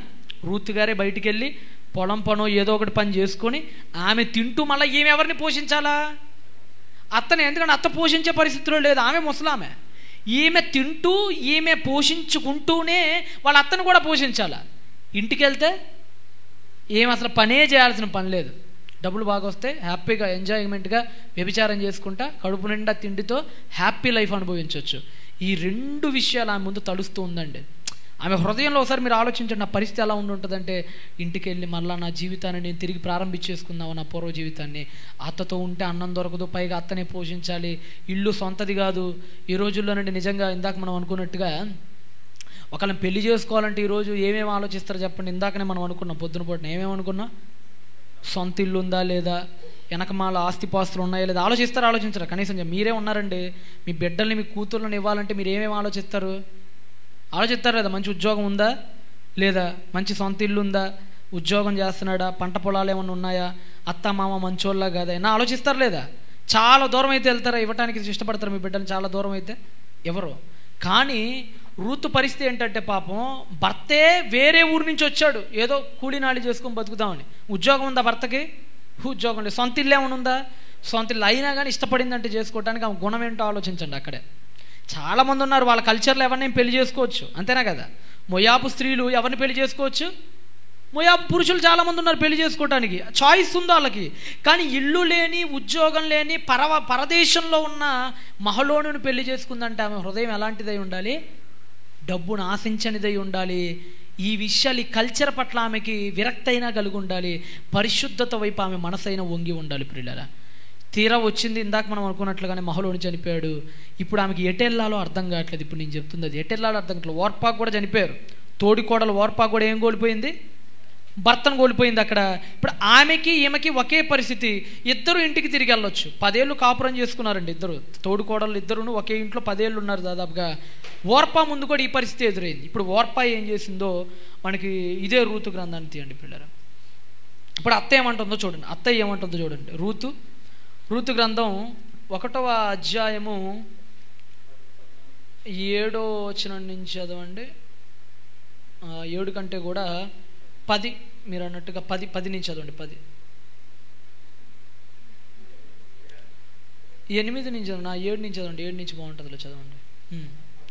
అప్పుడు ఆమె ఉన్న స్థలములో నుండి ఆమెతో కూడా ఆమె ఇద్దరు కోడండ్రును బయలు వెళ్ళి యూదాదేశమునకు తిరిగిపోవాలనని మార్గమున వెళ్ళుచుండగా నయోమి తన ఇద్దరు కోడండ్రును చూసి నయోమి తన ఇద్దరు కోడండ్రును చూసి ఏమనింది మీరు మీ తల్లుల యొద్దకు తిరిగి వెళ్ళిపోండి. ఏమని చెప్పింది? అత్త పర్మిషన్ ఇచ్చేసింది. ఏమని పర్మిషన్ ఇచ్చింది? పుట్టింటికి వెళ్ళిపోండి అమ్మా అడింది నెక్స్ట్ ఏంది? చనిపోయిన అనగా మీ భర్తల ఎడలను నా ఎడలను మీరు దయ చూపినట్లు. యహోవా మీ ఎడల దయ చూపును కాక అంటే ఆశీర్వాదం కూడా? యహోవా దయ చూపును కాక అంటే ఏం చేసింది కోడలని? బ్లెస్ చేసింది ఆశీర్వాదం చేసింది. ఆశీర్వాదం ఇచ్చి పుట్టింటికి వెళ్ళిపోమ్మా అని పర్మిషన్ కూడా ఇచ్చేసింది. ఇప్పుడు నెక్స్ట్ ఏం జరిగిందో చూడండి. అదిగోండి ఇంకో మంచి అవకాశం. ఏ చెప్తుందండి? వాస్తవానికి ఏ అత్త చెప్తుంది అంటారా కొడుకు చనిపోయాడండి. కొడుకు చనిపోయినప్పుడు కోడలు ఉంది. కోడలతో ఆ మాట నిజం చెప్పండి. మీరైనా లేదా మీ అత్తలైనా రేపు మీరు అత్తలైనా సరే ఎవరైనా ఆ మాట అనగలుగుతారా? అనగలుగుతారా? సొంత కోడ సొంత కోడల్ని కొడుకు భార్యని వేరే వాడిని పెళ్ళి చేసుకునే మాట ఎప్పుడు కూడా అనలేం. కానీ నయోమి ఎంత మంచిదంటే కూతురులా భావించుకుంది కొడుకులు లేరు కాబట్టి కూతురే అనుకుంది. కూతురుకు ఆ పరిస్థితి ఎదురైతే ఎలాగైతే ఆమె చూసిందో అలాగనే చూసింది. వెళ్ళి మీరు వేరే పెళ్ళిళ్ళు చేసుకోండి అమ్మా అని కూడా చెప్పింది. చూడండి మీరు పెళ్ళి చేసుకొని తన ఇంట నెమ్మది నొందినట్లు యహోవా దయచేయునుగా కానీ వారితో చెప్పి వారిని ముద్దు పెట్టుకుంది. అంటే సమాధానపూర్వకంగానే చెప్పింది. అమ్మ మీరు ఇంటికి వెళ్ళిపోయింది మీ అమ్మ వాళ్ళ ఇంటికి వెళ్ళిపోయి మీ అమ్మ నాన్న చూపించిన అబ్బాయిని పెళ్ళి చేసుకొని ఎలాగోలా ఈ పిల్లలు కూడా లేరు కాబట్టి పెద్దగా ఇబ్బంది లేదమ్మా మీకు పిల్లలు ఉంటే ఇబ్బంది పడేవాళ్ళు. హ్యాపీగా మంచి లైఫ్ని మీరు అనుభవించండి అని చెప్పి ఇద్దరికి చెప్పిందండి. అప్పుడు వాళ్ళిద్దరిలో ఎలాంటి పరిస్థితులు ఎదురైనా కింద చదవండి. అతడు వారు ఎలుగెత్తి ఏడ్చి నీ ప్రజల ఎద్దుకు నీతో కూడా వచ్చేదమని ఆమెతో చెప్పగా అయ్యో ఏంటది నా కుమార్తెలారా మీరు మరలండి నాతో కూడా మీరు రానేలా మిమ్మల్ని పెళ్ళి చేసుకున్నట్టకే ఇక కుమారుడు నా గర్భమును నుందురా నా కుమార్తెలారా తిరిగి వెళ్ళండి నేను పురుషునితో నుండలేని ముసల్దాన్ని అయిపోయాను ఇప్పటికే నాకు నమ్మిక కలదని చెప్పి రాత్రి పురుషునితో నుండి కుమారుల్ని కనినా వాళ్ళు పెద్దోళ్ళు అయ్యేటప్పటికి మీ వల్ల కాదు అని చెప్పింది పద్నాలుగు వచనంలో ఏమైందో చూడండి పద్నాలుగు. వారు ఎలుగెత్తి ఏడవగా రూప తన అత్తని ఎందుకు ముద్దు పెట్టుకుంది? ప్రేమ ఎక్కువైపోయి కదా. ముద్దు పెట్టుకుందంటే వెళ్ళిపోతున్నా టాటా గుడ్ బాయ్ అని. అంతే కదా. జుడా ఇస్కరయ్యత్ ప్రభు దగ్గరకు వచ్చాడు. ఏం చేశాడు వాడు? అంటే అర్థం ఏంటి? ఇంకెళ్ళొస్తాం మరి జాగ్రత్త అని అర్థం. అంటే ఇక్కడ ఓర్పా కూడా ఏం చేసింది? అత్త దగ్గరికి వచ్చి ముద్దు పెట్టుకుందంటే అర్థం ఏంటి? ఇంక వెళ్తున్నానమ్మా మన నా పుట్టింటికి వెళ్ళి సమ్మతించినట్లు ఈ అంగీకారానికి. దేనికి సమ్మతించినట్లు? మళ్ళీ మా ఇంటికి వెళ్ళిపోయి వేరే అబ్బాయిని చక్కగా పెళ్ళి చేసుకొని హ్యాపీగా బతుకుతానని అత్త చెప్పిన మాటలకు సమ్మతించి ముద్దు పెట్టుకొని వెళ్ళిపోయింది. ఇంటికి వెళ్ళిపోయిందంటే అర్థం ఏంటో కదండి. మళ్ళా వ్యభిచార గుంపులో మరలా తన ప్రాచీన స్వభావంలోనికి మళ్ళా ప్రాచీన పురుషుడిగా తాను మారిపోయింది. వెళ్ళిపోయిన ఏంటి? బాప్తీసానికి ముందటి జీవితం తర్వాత జీవితం ఉంటుందండి మన లైఫ్లో కూడా. బాప్తీసానికి ముందు కర్కసుడు ఉండేవాడు లోపల. వాడు చాలా కఠినాత్ముడు పాపం చేయి పాపం చేయని అని అంటూ ఉండేవాడు. బాప్తీసం పొందిన తర్వాత మనం ఏ పురుషుడిని ధరించుకున్నాం? నవీన పురుషుని మనం ధరించుకున్నాం. ఇప్పుడు మరలా ఈమె పెళ్ళి ద్వారా నవీన పురుషుడు వచ్చాడు ఈమె జీవితంలో కిలియోను. కానీ ఈమె మరలా ఏ జీవితానికి వెళ్ళిపోయింది? ఓ రకంగా చెప్పాలంటే బాప్తీసం పొందక మునుపు జీవితంలోనికి పాపిష్టి జీవితంలోకి వ్యభిచార నరబడుల జీవితంలోనికి వెళ్ళిపోయింది. ఒక్క మాటలో చెప్పాలంటే మళ్ళా ముయాబు సంస్కృతిలో ఏమేమైపోయింది? కలిసిపోయింది. కానీ రూత్ ఏం చేసిందంటే కింద చదవండి పిల్లలు. రూతు ఆమెను హత్తుకొనెను. ఇట్లుండగా ఆమె ఇదిగోని తోడి కోడలు తన జనుల యొద్దకి తన దేవుడు తన దేవుని యొద్దకి తిరిగిపోయినదే తన దేవుడి దగ్గరికి అంటే ఎవరి దగ్గరికి వెళ్ళిపోయింది ఆమె? తన దేవుడి దగ్గరికి అంటే ఎవరు? తన దేవుడు ఎవరు ఆమెకి? కెమోష్. అంటే యహోవాని విడిచిపెట్టి ఎవరి దగ్గరికి వెళ్ళిపోయింది ఆమె? కెమోష్ దగ్గరికి వెళ్ళిపోయింది. అనగా వ్యభిచారంలో కలిసిపోయింది ప్రాస్టిట్యూట్గా మారిపోయింది కదా. నువ్వు కూడా ఎందుకు తల్లి ఇక్కడ ఉంటావు? నువ్వు కూడా మీ కెమోష్ దేవుడి దగ్గరికి వెళ్ళిపో అని చెప్పింది తన దేవుడి దగ్గరికి వెళ్ళిపోయినదే చదవండి. నీవును నీ తోడి కోడలను వెంబడి వెళ్ళిపో నువ్వు కూడా వెళ్ళిపో ఆ కెమిస్ట్రీ దగ్గరికి నువ్వు కూడా వెళ్ళిపో నాతో ఉంటే నీకు తిండి గింజలు కూడా దొరకవు చాలా ఇబ్బంది పడతావు వెళ్ళిపోమని చెప్పిందండి. నెక్స్ట్ అందుకు రూతు నా వెంబడి రావద్దని నువ్వు అనవద్దు. నన్ను విడిచిపెట్టమని నన్ను బతిమిలాడుకొనవద్దు. నీవు వెళ్ళి చోటుకే నేను వచ్చేదను. నీవు నివసించే చోటనే నేను నివసించదు. నీ జనమే నా జనము నీ దేవుడే. నాకు ఆ కెముష్ ఆమె మాటల్లో ఎంత పరమార్థం ఉందంటేనండి నాకు ఆ వద్దు నాకు ఆ బడులు వద్దు నాకు ఆ వ్యభిచారం వద్దు అక్కడ కడుపు నిండా తిన్నా నాకు అన్నం కూడా అరగదు అసలు నాకు ఆ కల్చర్ వద్దు మళ్ళీ. నాకు ఏ కల్చర్ కావాలి? నాకు నువ్వే కావాలి నీ దేవుడే.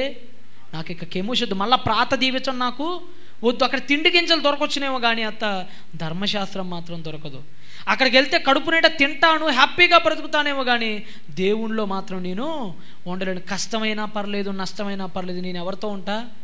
నీతోనే ఉంటా. నీ దేవుడే నా దేవుడు నీ జనమే నా జనం. ఏమంటే ఒకవేళ మళ్ళీ ఇస్రాయేల్ దగ్గరికి వెళ్ళిపోయింది అనుకోండి ఆమెకేం సన్మానాలు చేయరండి అవమానాలే ఉంటాయి ఆమెకి. ఏమంటే మొయాబు మొయాబీలతో ఇస్రాయేలీలు సహవాసం చేయరు తెలుసు కదా? దేవుడు ధర్మశాస్త్రంలో ఏం చెప్పాడు? మొయాబీలతో మీరు సహవాసం చేయకుండా అని హెచ్చరించాడు. ఇప్పుడు ఈమె ఎవరు? మోయిరాబీరాలు ఈమె ఇస్రాయేల్ దేశానికి వెళ్ళింది అనుకోండి వాళ్ళు ఎలా చూస్తారు చెప్పండి ఏమని ధర్మశాస్త్రంలో ఆ మాట గుర్తొచ్చి ఈమెను ఎలా చూస్తారు వాళ్ళు? పెడం పెడతారు. అవమానిస్తారు సన్మానించరు. ఎవరంటే మొయ మో మొయోబీరాలు అనగానే వెనక్కి వెళ్ళిపోతారు దగ్గర కూడా రారు అసలు.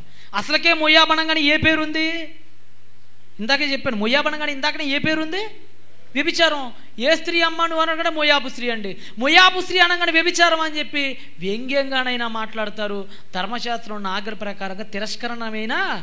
తిరస్కరిస్తారు. ఏమి ముందేందంటే ఆ దేశం వీడి చెల్లిందా వ్యభిచారం అనే మాట వస్తుంది. ఎందుకంటే వాళ్ళ కల్చరే మంచిది కాదు. లేదు వాళ్ళ ఇంటికి వెళ్ళిపోయిందా? తిండి గింజలు. వీటన్ని ప్లస్లు అటన్ని మైనస్లు అంటే ఒక విధంగా చెప్పాలంటే. ఇంటికి వెళ్తే ఏంటి? ఇంటికి వెళ్తే ఏంటి?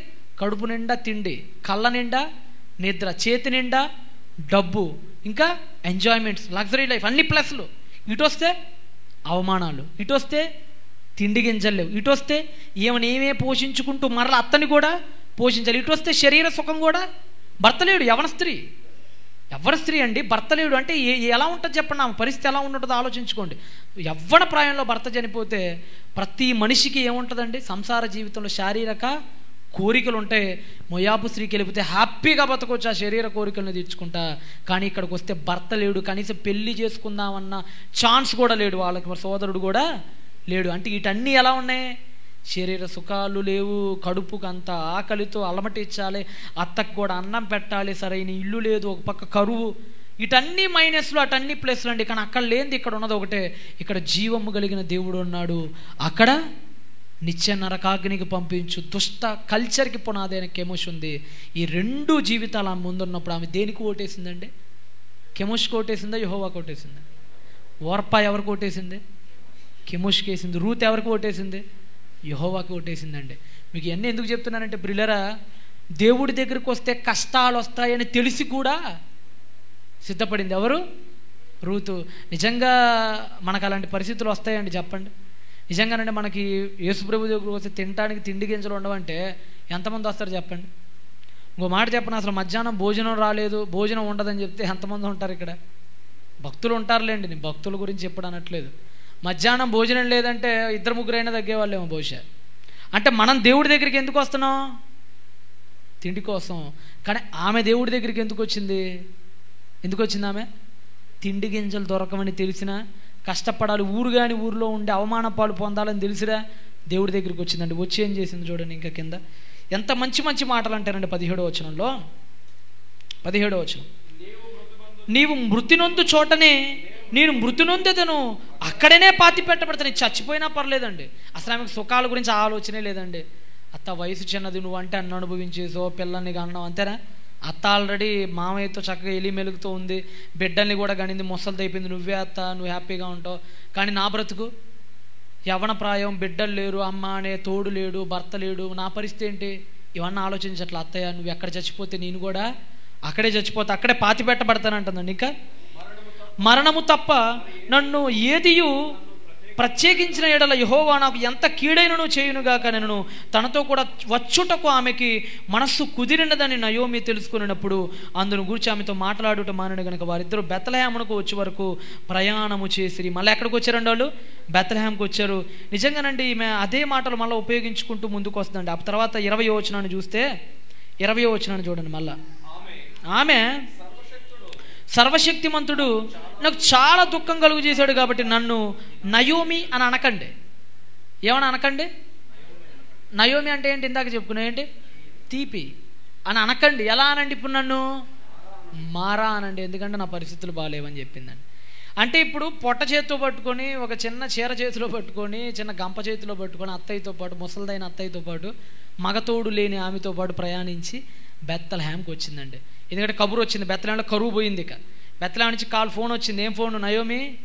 పదేళ్ళు అయిపోయింది కదా కరువు పోయిందమ్మా. మళ్ళా మన బెత్తలేం రొట్టెల ఇల్లుగా మారిపోయింది నువ్వు వచ్చాయని చెప్పింది. అప్పుడు ఊరు కాని ఊరికి తెలియని ప్రజల దగ్గరికి ఎవరు బయలుదేరారు? రూతు బయలుదేరారు. ఎల్లంగానే ముందు కడుపు కోసం పోరాటం చేయాలండి ఫస్ట్. ఫస్ట్ పోరాటం దేని కోసం? కడుపు కోసం. అంతే కదండి ఆకలి అనేది దేన్నైనా చేయనిచ్చింది కడుపు అంతా కాలిపోతుంది. ఒక పక్క అత్త కడుపు కాలిపోతుంది కోడల కడుపు కూడా ఇప్పుడు పొలంలోకి ప్రవేశించాలి. తినడానికి తిండి గింజలు. చేతిలో షెకెల్ కూడా లేదు చేతిలో. ఇప్పుడు ఏం చేయాలంటే ఒక పొలంలోకి వెళ్ళి అక్కడ పొద్దున్నుంచి ఏరుకోవటం ప్రారంభించిందండి. పొద్దున్నుంచి సాయంత్రం వరకు ఇందాకే చెప్పి అరవై డిగ్రీల ఎండలో కడుపు కాలిపోతుంటే పేగులు మాడిపోతుంటే అలాగనే కిందవన్నీ ఏరుకొని బుట్టలో వేసుకొని కొద్దిగా తిని మళ్ళీ కొద్దిగా ఎవరికి తీసుకురావాలి సాయంత్రం? అత్తయ్యకి తీసుకురావాలి. ఇవన్నీ మీకు ఎందుకు చెప్తున్నానంటేనండి ఆమె పడిన కష్టం ఆలోచించండి. దేవుడికి దగ్గరగా ఉండటానికి ఎన్ని శ్రమలకైనా సిద్ధపడింది. మీరు కూడా ప్రియులరు మీ జీవితంలో గుర్తుపెట్టుకోండి. దేవుడు మీకు దగ్గరగా ఉండటానికి ఎన్నిటినైనా సరే మీ జీవితంలో మీరు భక్తులు మనకు అదే. నేను అబ్రాహం గారి జీవితం విన్నారు కదా. దేవుడికి దగ్గర కావాలని ఆయన వేటి వేటిని విడిచిపెట్టాడు. బంధువుల్ని తండ్రుల్ని సొంత అన్న కొడుకుని సొంత కొడుకైన ఇస్మాయిల్ని మరొక కొడుకైనటువంటి ఇస్సాకుని అందరినీ కూడా ఆయన ఏం చేశాడు? విడిచిపెట్టాడు. ఇక్కడ రూతు కూడా ఏం చేసింది? తల్లిని తండ్రిని వాళ్ళు నమ్ముకునే దేవుణ్ణి వాళ్ళ కల్చర్ని భర్త చనిపోయినప్పటికీ కూడా అందరినీ విడిచిపెట్టి ఎవరి కోసం వచ్చింది? భక్తుల జీవితాల్లో ఎప్పుడు కనిపించేది ఏమిటో చేసే త్యాగం త్యాగం త్యాగం. నిజంగానండి భక్తుల ఏ భక్తుడి జీవితమైనా చూడండి మహాత్యాగాలు కనపడతాయి. అసలు మన బతుకులను ఒక్కసారి వాళ్ళ వెలుగులో ఆలోచిస్తే ఏ త్యాగం చేశారో ఒకసారి మీరు ఆలోచించుకోండి దేవుడి కోసం. ఇవాడు ఇక్కడ కూర్చున్న ఎవరమైనా సరే మనం ఒక్క త్యాగమైన దేవుడి కోసం చేసామా? కుటుంబాన్ని విడిచిపెట్టి విడిచిపెట్టడం అంటే దేవుడి కోసం అనుకోని పరిస్థితులు ఎప్పుడేం చేయగలిగామా? హ్యాపీగా తింటున్నాం కదా రోజు మనం ఇంట్లో హ్యాపీగానే తింటున్నామా? హ్యాపీగానే తింటున్నాం. మంచి భర్తలు హ్యాపీగా అంతో ఇంతో డబ్బు ఉంది చక్కగా సెటిల్ అయిపోయాం మనం. కానీ వాళ్ళ పరిస్థితి? అది కాదు పిల్లరా కానీ ఆమె అన్ని ఎరిగినా కానీ దేవుడి దగ్గరకు వచ్చిందంటే ఆమె మనసు ఏంటో ఆలోచించుకోండి. ఈరోజు ఆ మనసు మీకుందా? మన దేవుడి కోసం డబ్బులు ఖర్చు పెట్టే శక్తి మీకుందా? ఈ వేటినైనా విడిచిపెట్టే శక్తి ఉందా? యహోవా జీవాన్ని ప్రకటించుటకు మీ ప్రాణాన్ని ఒడ్డే శక్తి మీకుందా? ఆ శక్తి ఎవరిలో ఉంది? రూతులో ఉంది. ఈరోజు మనలో ఉన్న గుణాలు రూతులో ఉన్న గుణాలు ఒకటి కదండి. మనలో ఎలాంటి గుణాలు ఉన్నాయో తెలుసా? ప్రకటన గ్రంథానికి వచ్చేయండి. మనలో ఉన్న గుణాలు ఎలా ఉన్నాయో? మనల్ని చూసి దేవుడు ఏమంటున్నాడో ఒకసారి మీరు ప్రకటన గ్రంథానికి వచ్చేయండి పిల్లరా రూతును అందుకనేనండి. రూతు ఎంత త్యాగం చేసింది కాబట్టి కడుపు కాల్చుకొని కల్చర్ను వదిలేసి ఆమెను మత్తైసు వార్త ప్రారంభ అధ్యాయంలో యేసుక్రీస్తు వంశావల్లో చేర్చాడు ఆమెని ఎక్కడ చేర్చాడు? యేసు వచ్చింది ఏ గర్భాలను దాటి? రూతు గర్భాన్ని దాటే యేసు వచ్చాడు. ఎవరిని దాటి వచ్చాడు? రూతు గర్భాన్ని దాటి ఓబెదు ఓబెదు నుంచి జెస్సి అది యశ్య యశ్య నుంచి దావీదు దావీదు నుంచి కొన్నాళ్ళకి యేసుక్రీస్తు ప్రభుల వారు వచ్చారండి. అంటే మెస్సియ రాకడకు దేవుడు ఆ కడుపు కాలింది చూసారు ఒకప్పుడు? ఆ కడుపు కాలిన గర్భం నుంచే కరుణామయుడు రావాలని దేవుడు కోరుకున్నాడండి. అందుకనే వాళ్ళకన్ని వరాలు ఇచ్చాడు దేవుడు అక్కడ. ఒకసారి మీరు ప్రకటన గ్రంథము ఒకసారి మనం మూడో అధ్యాయం చేయండి ప్రకటన గ్రంథం మూడో అధ్యాయము. పద్నాలుగు వచ్చిన చదవండి. ప్రకటన మూడు పద్నాలుగు చదవండి. మన బ్రతుకులు ఎలా ఉన్నాయో చూడండి. లవతకీయులో ఉన్న సంఘపు దూతకు ఇలాగున వ్రాయము. ఆమెనను వాడును నమ్మకమైన సత్యసాక్షి దేవుని సృష్టికి ఆదినైన వాడు చెప్పు సంగతులేమనగా నీ క్రియలను నేను ఎరుగుదును. అంటే మన క్రియలు దేవుడికి తెలుసట. మన క్రియలు ఎవరికి తెలుసు? దేవుడికి తెలుసు. దేవుడు ఎరుగుదును ఇంకా. నీవు చల్లగానైనను వెచ్చగానైనను ఉండిన మేలు. మనం ఎలా లేమటండి మన బతుకులు ఎలా ఉన్నాయంటే? ఆదివారం వెచ్చగా ఉంటాం దేవుళ్ళో. అంతేనా? ఆదివారం ఎలా ఉంటాం చెప్పండి? ఆరాధన జరుగుతున్నంతకాలం ఓ పట్టుకుంటే కాలిపోయింది అంత పరిశుద్ధత ఉంటుంది మనలో వెచ్చగా. సోమవారం నుంచి ఎలా ఉంటాం? చల్లగా ఉంటాం. పాపం అంతా ప్రవహిస్తూ ఉంటుంది అనమాట మనలో. అదే అంటున్నాడు మీరు ఒక రోజు పరిశుద్ధత ఉంటే మరొక రోజు మనలో ఏం తాండవిస్తుంది? పాపం. అదే అంటున్నాడు మీరు చల్లగానైనను అంటే పూర్తిగా పాపంలోనూ లేరు పూర్తిగా పుణ్యంలోనూ లేరు. పాపంలో ఒక అడుగు మంచు మీనేమో ఒక అడుగు పెట్టాం బురదలోనేమో ఒక అడుగు పెట్టాం. మన పరిస్థితి చూడండి ఎట్లుందో. ఇప్పుడు వీడు దేని మీద ఉన్నాడు అంటే ఎవరు చెప్పలేరు. అంతే కదండి ఒక అడుగు మంచు మీద ఒక అడుగు బురద మీద పెట్టినోండి మీరు చూపించి వీడు దేని మీద ఉన్నాడని చెప్పండి మీరు. ఏమని చెప్తారు మీరు? మంచు మీద ఉన్నాడని చెప్తామా బురదలో ఉన్నాడని చెప్తామా ఈయన ఇప్పుడు ఏమంటాం రెండు పడవల మీద రెండు పడవలు ఏమైనా గాలి వేసినాడు గమ్యానికి పోతాడా? ఆ పడవట్టు ఈ పడవిటి ఇటు వెళ్ళిపోయినప్పుడు ఇప్పుడు ఏమైపోతాడు మధ్యలో? ఈరోజు క్రైస్తవ జీవితాలు ఇలానే ఉన్నాయి. రెండు పడవల మీద కాళ్ళు. ఏంటా పడవలు? లోకం అనే పడవ నోవహు ఓడనే పడవ. రెండు పడవల మీద మనం గాలి వేసాం. రెండు పడవల మీద గాలి వేసిన వాడు చివరికి గమ్యానికి చారలేడు. ఇక్కడ అదే జరిగింది. ఇంకా చదవండి తర్వాత. నీవు వెచ్చగానైనను చల్లగానైనను ఉండక నులివెచ్చగా ఉన్నావు. నులివెచ్చగా ఉన్నావు అనగా కొంత పాపం కనపడుతుంది కొంత పుణ్యం కనపడుతుంది. రెండు మిక్స్ చేసేసావు. ఇంకా. గనుక నేను నిన్ను నా నోట నుండి ఉమ్మివేయను ఉద్దేశించుచున్నాను. ఎవరన్నారండి ఈ మాట? సంఘాన్ని చూస్తే సంఘానికి రాశాడు ఆ పత్రిక. దేనికి రాశాడు? లవదోకే సంఘం. సంఘం అంటే ఎవరు? క్రీస్తు రక్తంతో కడగబడిందా? కడగబడనిదా? కడగబడిందే. అంటే మారు మనసు పొందిందేనా? బాప్తీసాలు పొందారు వీళ్ళందరూ బాప్తీసాలు పొందారు మారు మనసు పొందారు క్రీస్తు రక్తంలోకి వచ్చి సంఘంలో మనకు మళ్ళీ కూర్చున్నారు. కానీ వాళ్ళని ఏమంటున్నాడు దేవుడు అక్కడ? ఉమ్మివేయను ఉద్దేశించి ఉన్నాను ఏమంటే ప్రభు ఎప్పుడైనా తన జీవితంలో అలాంటి మాట ఉపయోగించాడా? రోమియులు సిలువ యాగం అప్పుడు ఆయన మీద ఏమేశారు ఏమేశారు ఉమ్మి వేశారు. మళ్ళీ తిరిగి ఉమ్మేశాడా అంత కరుణామయుడు అంత దిగమింగుకునే అంటున్నాడు ఇక్కడ. నీకు మిమ్మల్ని చూస్తుంటే నాకేమనిపిస్తుంది అంటే నోరు తెరిచి ఉమ్మేయాలనిపిస్తుంది అంటున్నాడండి. ఒకప్పుడు ఉమ్మేస్తే భరించుకున్న ఆయన ఇప్పుడు ఉమ్మేయాలనిపిస్తుంది మన మీద అంటున్నాడు ఆయన. చదవండి ఇంకా ఉమ్మివేయని ఉద్దేశించి ఉన్నాను. మనల్ని మనల్ని ఏమంటున్నాడు చూడండి. నీవు దౌర్భాగ్యుడవు దిక్కుమాలిన వాడవు దరిద్రుడవు గుడ్డివాడవు దిగంబరుడవై ఉన్నావని ఎరుగక నేను ధనవంతుడనే ధనవృద్ధి చేయుచున్నాను నాకు ఏమీయూ కొదవలేదని చెప్పుకొనుచున్నావు. ఏమంటున్నాడండి? మనం అంట దౌర్భాగ్యులుగా ఉన్నామంట కానీ పైకి ఏం చెప్పుకుంటామంట? అబ్బో నేను చాలా రిచ్ పర్సన్ బ్రదర్ ప్రసంగాల్లో పాపుల మంది తేలింది అనుకోండి మనం. ఆయన అంతే చెప్తారులేండి నేను ఎన్ని చేశాను ఆయనకేం తెలుసు? ఏం చేశావో నాకు కాదు దేవుడికి తెలుసు. పిల్లలు మీరు ఒకటి ఆలోచించండి. మన బ్రతుకు ఎలా ఉంది? లోపల భక్ లోపల ఒక భక్తి పైన ఒక భక్తి? అంటే ఇక్కడ ఉన్నంతకాలం ఎవ్వరం పాపం చేయమని అందరం పరిశుద్ధంగా ఉంటాం. ఇంటికి వెళ్ళిపోయిన తర్వాత పరిస్థితులు ఎలా ఉంటాయండి? నిజం చెప్పండి ఇంటికి వెళ్ళిపోయిన తర్వాత బైబిల్ ఎంతమంది తీస్తారు చెప్పండి? తీస్తారా? కొంతమంది తీస్తారు పాపం దేవుడి దయ. రూతు లాంటి ధన్యురాళ్ళు. అసలు కనీసం ఇంట్లో బైబిల్ ఉంటే ఆ జిప్పు ఎప్పుడు ఓపెన్ చేసి ఉండదండి. ఎప్పుడు ఎలా ఉంటుంది చెప్పండి జిప్పు చక్కగా అలా ఒక్కరు కూడా గ్యాప్ లేకుండా మొత్తం క్లోజ్ చేసి అటక పైన పెడతాం చక్కగా. మళ్ళీ ఎప్పుడు జిప్పు ఓపెన్ అయ్యిద్ది మళ్ళీ వారం పట్టాలి ఆదివారం. అది కొంతమంది జిప్పు తర్వాత ఓపెన్ చేసుకుందాం అని అలాగనే తీసుకొచ్చేస్తారు మహానుభావులు. అంటే మన పరిస్థితులు ఇలా ఉన్నాయి. అదే అంటున్నాడు ఆయన. పైకి ఏమో క్రైస్తవడం అని చెప్పుకుంటున్నాం లోపల మన బతికేలా ఉంది? అన్యుడి కంటే దారుణంగా ఉంది. ఉమ్మివేయను ఉద్దేశించాలంటున్నాడు అండి ఆయన. ఇంకా ఏమంటున్నాడు చూడండి కింద? నీవు ధనవృద్ధి చేసుకున్నట్లు అగ్నిలో పుటము వేయబడిన బంగారమును నీ దిశమున సిగ్గు కనపడకుండా ధరించుకునుము. తెల్లని వస్త్రాలను ధరించుకో. నీకు దృష్టి కలుగుటకు నీ కన్నులకు కాటుక కూడా పెట్టుకో అంటున్నాడండి. చివరిసారి దీని గురించి చెప్పినట్టున్నా. కళ్ళకి కాటుక పెట్టుకోమన్నాడు. కాటుక అనేది ముందు కళ్ళల్లో ఉన్న దేని తీసేసిద్ది? కాటుక అనగానే నిద్రపోయి లగవంగానే మలినాలన్నీ దేనికి అంటుకుపోయి ఉంటాయి? కాటుక. వాక్యం కూడా కాటుక లాంటిది. నీ కళ్ళ అలా పెట్టుకున్నావు అనుకో ఈ కాటుకని ఆ ఆత్మీయ కళ్ళకున్న పాపం అనే మలినాన్ని అది ఏం చేసిద్ది?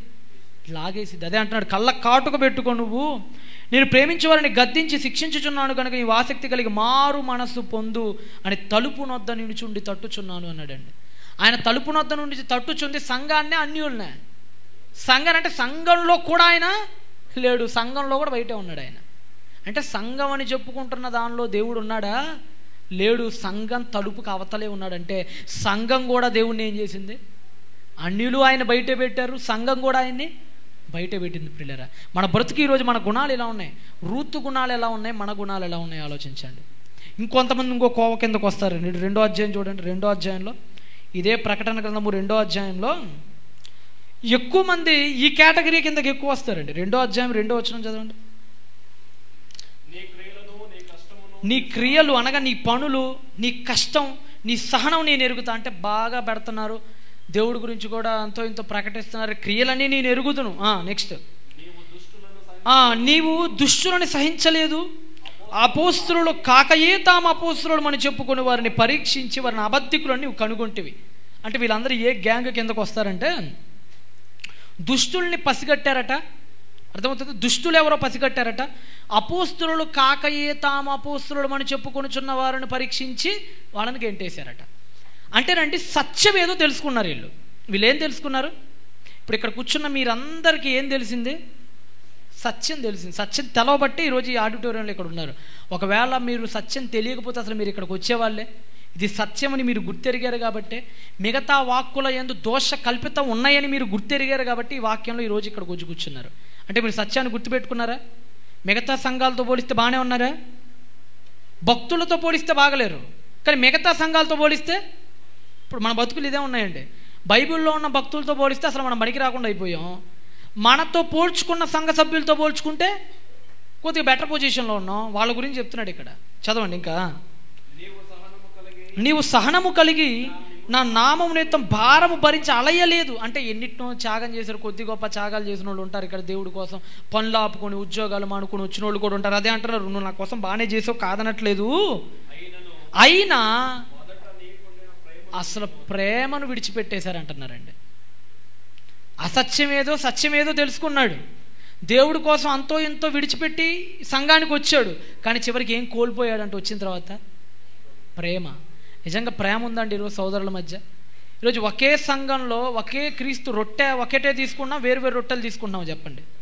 ఆదివారం అయిందంటే రొట్టె ద్రాక్ష రసంలో ఒకే రొట్టెలో చెయ్యేస్తున్నాం ఒకే పానీయాన్ని స్వీకరిస్తున్నాం. కానీ ఒకళ్ళంటే ఒకళ్ళకి పడని పరిస్థితి.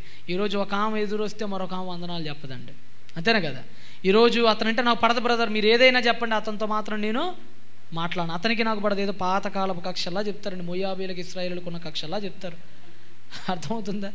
ఏమున్నాయంటే ఏం లేదు చిన్న చిన్న చిన్న చిన్న. ప్రభు అన్న మాటలు కూడా మనకు అనవసరం. ప్రభు ఏమన్నాడు?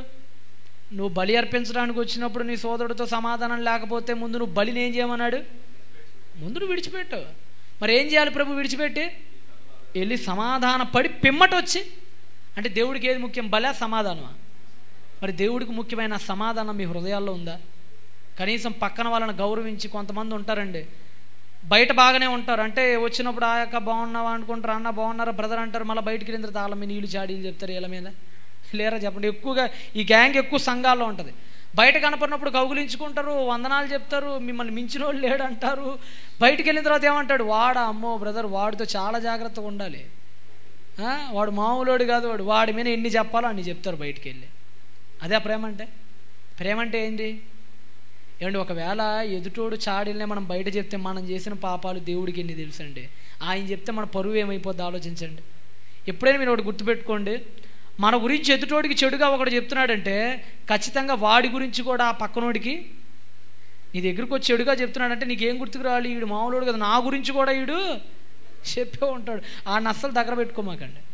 ఎదుటి వ్యక్తి గురించి ఎప్పుడు ఎవరు మన చెడుగా మాట్లాడు వా వాళ్ళ తప్పుంటే వాడికే చెప్పండి వెళ్ళి. వాడు తప్పుంటే మీరు ఎవరికి చెప్పాలి? ఆడికి చెప్పండి ఆడు ఎనలేదు ఆడే పోతాడు. అప్పుడు ఎవరినైనా మనం వాడి మార్గంలోకి వెళ్ళకుండా ఉండటానికి రెండు మూడు హెచ్చరికలు చేయండి వాడి పట్ల. ఇప్పుడు పౌలు గారు అంటారు మీలో ఒకడు తన తండ్రి బారిన ఉంచుకున్నాడు మీరు. అది విమర్శ కాదు అది నిజం అది నిజం. కానీ చిన్న చిన్న పొరపాట్లను కూడా మీరు చెప్పుకుంటా పోయారనుకోండి బయట మీ పరిస్థితి ఏమైపోద్ది? మీ గురించి వాళ్ళు అలానే చెప్పుకొని వాళ్ళ గురించి మీరు అలా చెప్పుకుంటే ఏమైపోతారు చెప్పండి? సంఘంలో ఏం కొదవైపోయింది ఈరోజు? ప్రేమ కొదవైపోయింది. అదే ప్రభు అంటాడు నీకున్న ప్రేమ నువ్వు ఏం చేసావు? సత్యం అని చెప్పుకున్నావు గ్రహించావు? అంతా బాగానే ఉంది కానీ చివరికి ఏమైపోయిందంటే మనలో మనకే సమాధానం లేకుండా అయిపోయిందండి. అలాంటి క్యారెక్టర్గా మారిపోయామంట. చదవండి ఇంకా కింద చదవండి. నీవు ఏ స్థితిలో నేను నీ మీద ఒక తప్పు మోపవలసి ఉన్నది. నీవు ఏ స్థితిలో నుంచి పడితివో అది జ్ఞాపకము చేసుకునము మారు మనసు పొందా మొదట క్రియను చేయుము. అట్లు చేసి నీవు మారు మనసు పొందితే సరి లేని ఎడల నీ వద్ద నుండి నేను దీపస్తంభమును తీసివేయుదును. ఏమన్నాడండి? ప్రేమలు నశించిపోయిన సంఘానికి ఆయన చెప్తున్నాడు నీలో ఆ దీపస్తంభాన్ని తీసేస్తా. దీపస్తంభం అంటే ఏంటి? వాక్యం. మీరు ఎప్పుడైనా గుర్తుపెట్టుకోండి వాక్యానికి అవిధేయ ఉన్నారు మీలో ఉన్న వాక్యం కూడా తీసేస్తాడు దేవుడు. సౌలు ఉన్నాడండి. దేవుని ఆత్మ వెళ్ళిపోయిన తర్వాత సౌల్లోకి ఏ ఆత్మ దూరింది? దురాత్మే. మరొక చోట్లేదు ఉంటే దేవుడు ఉండాలి. దేవుడు లేకపోతే ఖాళీగా ఉండటం మాత్రం కుదరదండి మన మనసు. ఉంటే దేవుడు లేకపోతే దెయ్యం. ఈరోజు సంఘంలో ఉన్నారు మీరు. సంఘంలో ఉన్న మీ హృదయాల్లో ఎవరు కొలువై ఉన్నారు ఎవరిని కొలుచున్నారు చెప్పండి. దేవుడు ఉన్నాడా? క్రీస్తు ఉంటే క్రీస్తు క్రియలు ఉంటాయి. క్రీస్తు చూపించిన ప్రేమ క్రీస్తు చూపించిన సహనం దేవుడి కోసం పనిచేసే తత్వం ఉంటుంది. ఎవరు దేవుడి కోసం పనిచేయాలనే ఆలోచనలు మీరు ఎవరు లేరు? ఎవరు లేరు మీరు? క్రీస్తు లేడు. మీ మీ పరాయుడితో పగుంద వాడితో పలకలేకపోతున్నావు అంటే నీళ్ళు ఎవరు లేరు? లేడు అంతే. డైరెక్ట్గా మీరు అనేసుకోండి మీ పగవాడితో మీరు పలకరించడానికి ఇప్పటికీ సంశయపడుతున్నారా? మీలో మన క్రీస్తు లేడు. వాడితో పలకండి నిప్పులు వాడి మీద కుప్పగా వేసిన వారు అవుతారు అంటాడండి దేవుడు. పలికితే దేవుడు మిమ్మల్ని ఏం క్వశ్చన్ చేయడు రేపు నువ్వు పలికావా లేదా నిన్నే అడుగుతాడు. ప్రభు నేను పలికాను ప్రభు. అట్నుంచి నువ్వు ఏ విమర్శ చేయదు ఇప్పుడు వాడిని అడుగుతాడు. వాడు పలికినప్పుడు నువ్వు పలికావా లేదా పలకలేదు ప్రభు. గెట్ అవుట్ ఆయన సన్నిధిలో ఎవరు ఉండాలి తగ్గింపు తత్వం కలిగిన వారే ఉండాలి. దేవుడి కొరకు ఎంతటి కష్టాన్నైనా అధిగమించే వాళ్ళే ఉండాలి. ఆయన కోసం దేన్నైనా వదులుకునే వాళ్ళే ఉండాలి. మీలో వదులుకునే వాళ్ళు ఎంతమంది? కష్టపడుతున్న వాళ్ళు ఎంతమంది? ప్రేమ కలిగిన వాళ్ళు ఎంతమంది? పిల్లరా నిజంగా చెప్పండి ఈరోజు ఒక మన క్రైస్తవుల్లోనే ఒక డినామినేషన్ అంటే ఒక డినామినేషన్కి పడదండి. వాళ్ళు పెంతుకొస్తాడంటే లోదరన్నోడికి పడిద్దా? లోదరన్నోడు అంటే సిఎస్ఐలకు పడిద్దా? సిఎస్ఐలు అంటే క్యాథలిక్స్కి పడిద్దా? మళ్ళీ ఒకే సంఘం ఒకే క్రీస్తు ఒకే బైబిల్ ఒకే అధ్యాయులు ఒకే చాప్టర్లు చదివేదంతా ఒకటే. కానీ ఆచరణ మాత్రం ఇట్టి వారు పరలోకానికి వారసులు అవ్వగలుగుతారా? ఎట్టి పరిస్థితుల్లో ఇలాంటి వారు పరలోకానికి వెళ్ళరండి. అందరితో సఖ్యతగా ఉండండి వాక్యాన్ని పంచండి. ప్రభు కొరకు కష్టపడండి ఫస్ట్ అర్థమవుతుందా? వచ్చి కూర్చొని విని వెళ్ళిపోయారా? వ్యర్థం. కూర్చొని వీళ్ళు వెళ్ళిపోతే ఏంటి? వ్యర్థం. ఆ విన్నప్పుడు మీకు రూతు గురించి నేను ఎందుకు చెప్పానంటే కష్టాలు అనుభవించాలి సిద్ధపడతారని. అబ్రహాం గురించి ఎందుకు చెప్పానంటే నిండు వృద్ధాప్యంలోనైనా సరే ఏం ఆపకూడదు మనం? చచ్చిపోయేంతవరకు ఊపిరి ఆగిపోయేంతవరకు దేవుని ప్రాణాన్ని మనం విడిచిపెట్టకూడదు. ఆయన చేతిని మనం గట్టిగా పట్టుకుని ఉండాలి ప్రియులరా. లేదు అంతవరకు నువ్వు సహించకుండా మధ్యలోనే దేమాలాగా లోకంలో కలిసిపోయావా? బ్రతికేమైపోద్ది నీది? అంటాడు కదా దేమా అనువాడు లోకమును స్నేహించి నన్ను విడిచి వెళ్ళిపోయిను అంటాడండి పౌలు. మీరు లోకాన్ని స్నేహించి విడిచి వెళ్ళిపోతారా? ఓర్పలాగా. దేవుడి కోసం కష్టాలైనా సరే ముందుకు వస్తారు ఆలోచించుకోండి. దేవుణ్ణిలో ఉంటే లాభాలు ఈ లోకపరంగా ఏముండవండి కష్టాలు ఉంటాయి. అదే కెమోష దగ్గరికి వెళ్ళిపోయారు మీకేముంటాయి? ఓర్పాకి ఎందుకు వెళ్ళిపోయింది? హ్యాపీ లైఫ్ కానీ సాతాన్ ఉంటాడు. కష్టంగా ఉంటుంది లైఫ్ కానీ ఎవరు ఉంటారు? కానీ ఈ కష్టము శాశ్వతం కాదు ఆ సుఖం కూడా ఈ రెండు విడిపోయి ప్లేట్ అలా తిరిగిపోద్ది. ధనవంతుడు లాజర్లాగా కష్టం అనుభవించినోడు సుఖ పునరుద్ధానానికి సుఖం అనుభవించినోడు దుఃఖ పునరుద్ధానానికి వెళ్ళిపోతారు. ఇప్పుడున్న బ్రతుకులు తర్వాత మనకి ఉండవు ఇప్పుడు సుఖం అనుభవించి రేపు నరకానికి వెళ్తారా? ఇప్పుడు కష్టం అనుభవించి రేపు పరలోకానికి వెళ్ళిపోతారు? మీరే ఆలోచించుకోండి. చిన్న ప్రార్థన చేసుకుందాం. కళ్ళు మూసుకోండి ప్రేమిందేమని వాళ్ళ హరిశుద్ధుడ ప్రేమ నమ్మకము కలిగిన మా కన్న తండ్రి యవ్వన ప్రాయంలో భర్తను కోల్పోయి తల్లిదండ్రులను విడిచిపెట్టి భూముల్ని విడిచిపెట్టి నా అనుకున్న అన్నదమ్ములను విడిచిపెట్టి నా అనుకున్న సంస్కృతిని విడిచిపెట్టి కేవలం ఒక ముసలామిని తోడు పెట్టుకొని తినటానికి తిండి లేకపోయినా తాగటానికి నీళ్ళు లేకపోయినా కడుపు కాలుతుందని తెలిసినా పేగు మాడుతుందని అర్థమైనా నీ దేవుడే నా దేవుడు అనింది తప్ప వెనక్కి తిరిగి చూడాలని అనుకోలేదు ప్రభు. మేము కూడా అంతే. నిన్ను వెంబడించిన తర్వాత కష్టాలు రావచ్చు నిన్ను వెంబడించిన తర్వాత ఎన్నో ఆటుపోట్లు మేము ఎదుర్కోవచ్చు కానీ మీ కొరకు నిలబడిన వారైతేనే జీవ గ్రంథంలో పేరు సంపాదించుకుంటాం. ఈరోజు ఈ పుస్తకానికి రూతు అని పేరు పెట్టారు కానీ ఓర్పా అని పేరు పెట్టలేదు నాయన. ఎందుకంటే ఆమె తన దేవుడైన కెమషు దగ్గరికి వెళ్ళిపోయింది. కానీ రూతు మీ యొద్ద ఆగిపోయి నిలిచింది నాయన. రూతు లాంటి గుణగణాలు ఉండాలి తప్ప ఈ లోపాలు మాలో ఉండకూడదు నాయన. సత్యమని తెలిసి ప్రేమ లేని బ్రతుకులు ఒకళ్ళవి పాపంలోను పుణ్యంలోను అటొక కాలు ఇటొక కాలు వేసి ప్రయాణాన్ని సాగిస్తున్న బ్రతుకులు మరికొన్ని. అసలు ఆ బ్రతుకుల్లో ఉన్నవాడు గమ్యానికి చేరలేడు. ఉంటే నోవహు ఓడా లేకపోతే సాతాను ఓడా. ఈ రెండు ఓడల మీద రెండు కరములను మోపినవాడు ఎన్నటికి నీ లక్ష చేదరకు కాలేడు ప్రభు. ఈ విషయాన్ని మీ బిడ్డలు గమనించి మీ కొరకు బ్రతికి మీ కొరకు ఒక రూతులాగా నిలబడగలరని ఆశిస్తూ మాలో సమాధానాన్ని మాలో ప్రేమని మాలో శాంతిని మాలో సంఘ లక్షణాలను నింపమని కూడా కోరుకుంటూ యేసుక్రీస్తు ప్రభుల వారి నామంలో చిన్ని ప్రార్థన అడిగి వేడుకొనిచున్నాడు మా కన్న తండ్రి. Amen. Okay. ತುಂಬ ಧನ್ಯವಾದ ಎಂ ಸ್ಯಾಮ್ಸನ್ ಸಹೋದರ, vice C B T vice principal Guntur ಎಲ್ಲರ ಕೈ ತಟ್ಟಣ ಅವರಿಗೆ